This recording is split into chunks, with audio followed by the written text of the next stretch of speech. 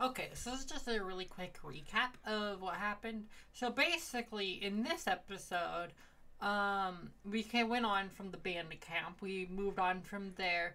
We started going on the road. Um, I kept an eye out. Didn't do very good. Someone else kept an eye out. Didn't do very good.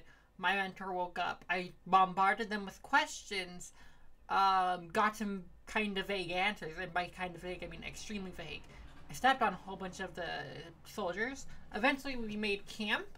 We also have uh, fought over who will get food, and we decided that uh, all three of our prisoners will eat one ration. They have to share one ration together. Um, and then also, eventually, we went hunting, got a giant deer, got more food.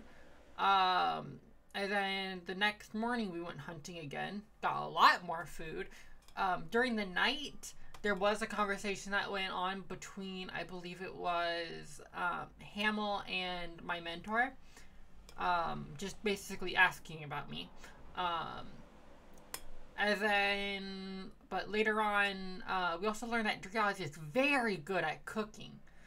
Um, but, anyways, we went on and we were traveling again. We're going to get there. Kind of, we're going to get to the city that we're going to very soon. It's not going to be that long, but uh, on the way we found some wolves that were wanting to eat us, and we debated for about thirty minutes of just trying to figure out what the fuck should we do. And then I was like, all right, I'm gonna do something stupid. And I walked towards the wolves and just said, Roar, extra nuzzles pounces on you. Ooh, you so warm. hey, I'm a wolf too. As you just saw, we should like be friends and you should like leave us alone. and um, wouldn't you know it, it didn't work. And it started combat.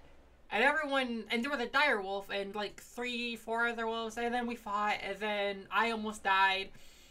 Uh, and that's about it. We finished doing all that, and I think we're on our way again.